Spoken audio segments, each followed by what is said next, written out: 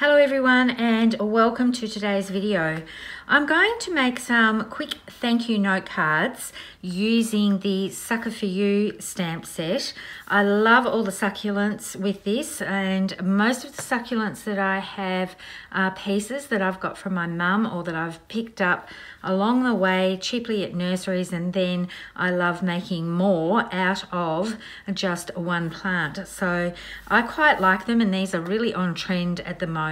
So I thought I would make some thank you note cards using the Distress watercolor card stock from Tim Holtz and I'm going to do two different ways of doing this. These ones here I have stamped with intense black ink and I've given them some time to dry before I start watercoloring them and these ones I'm going to stamp with Distress Oxide inks and then use that ink to colour them in.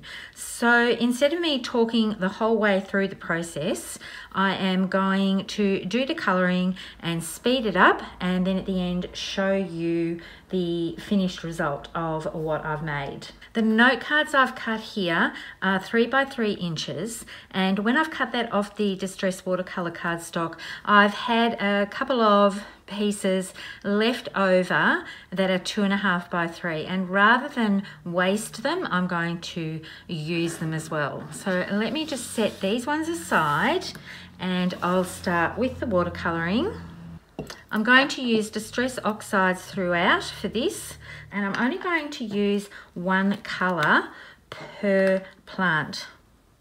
So I'm just going to pick that up with my paintbrush.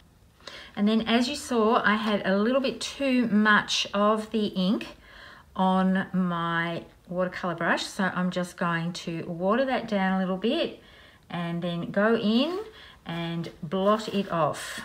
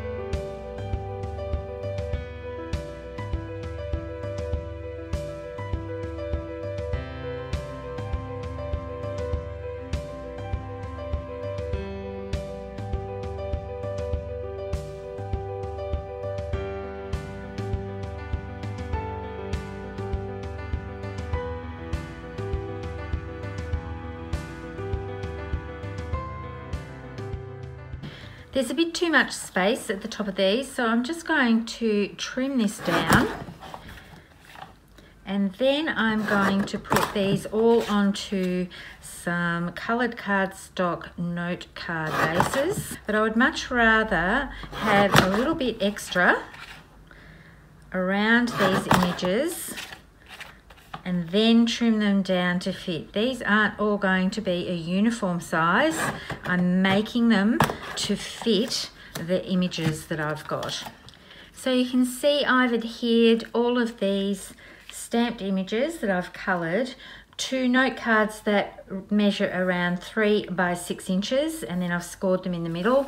This one is a little bit smaller and because I've used coloured cardstock to put all these images onto, I've adhered some white daisy on the inside of all of these and I'm taking this little image here and I'm just going to stamp that in pewter ink on the inside area of each of these note cards. These came together quite quickly, just using one colour to colour in the images and then just using the watercolour with the Distress Oxide straight from the edges of the stamped image is quite a quick technique to do. You can wait for them to dry as you saw me do in the video and then add a little bit more colour in.